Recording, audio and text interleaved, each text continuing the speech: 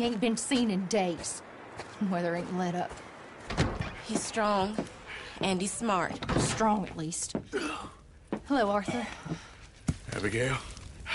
Arthur, how you doing? Just fine, Abigail. And you? I need you to... I- I'm sorry. I'm sorry to ask, but It's little John.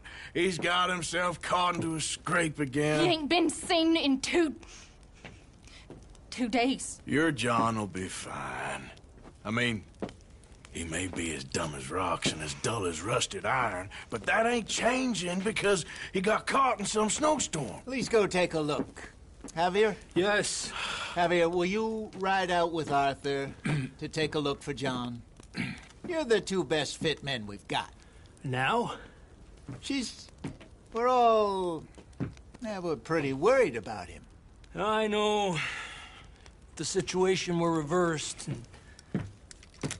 He'd look for me. Thank you.